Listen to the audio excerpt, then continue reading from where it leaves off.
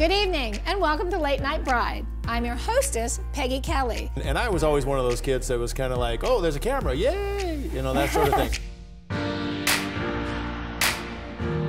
and look who's here. David Tutera. We, as experts and those watching right now sitting up late at night, can take this advice and go, streamline it and stop looking online. And see, that's my whole mission here.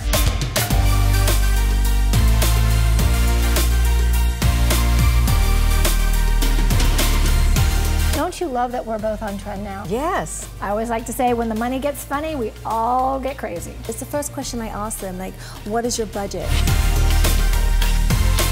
Welcome back to Late Nite Bride, where we're talking about the next stage of your wedding, which is called healthy lifestyle. But it's not all about just the nutrition, it's about the mindset and the way you feel. She's still a romantic and classic bride, mm -hmm. but she Mm-hmm. wants a little bit of an edge. Brides want to feel sexy and beautiful. Welcome to Late Nite Bride. Thank you.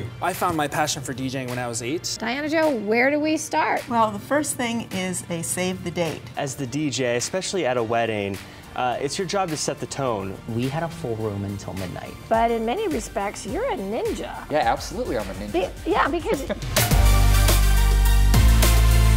talk about photography. It's the setting up of the dress. It's the photographing of the shoes. Now it's the girls in the robes. The girls. we love weddings, but we love the couples more. We do, and I think that's something that we often don't emphasize or advertise, frankly. Oh, I we got, I got how much time we got tonight? Because yeah. I can tell you so many stories. So we're literally five minutes away.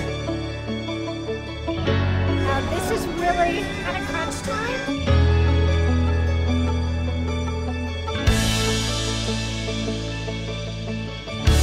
What an amazing night it's about to begin. It's time for a love with Jade and David Erickson. Marriage. Marriage is what brings us together today.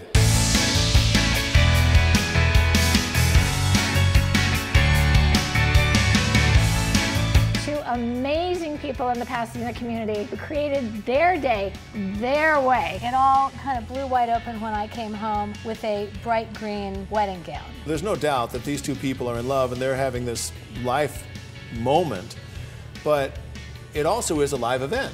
And we're going to talk about men's grooming. Working with the men is very complex. The brides now have a pretty set idea of what they want. What has been your favorite wedding to shoot? Oh, that's a hard one. You're going to ask me. you were the first decision that we made and the best, the best, out of all of them. What wish do you have for couples? I wish for them to keep having fun. That and I hope they have a Peggy. Yes. a Peggy too, because if they don't have a Peggy, they might yep. What we talked about is love. It's really that simple. That's what Late Nite Bride is about. We're here for you so that you can enjoy your wedding. Cheers.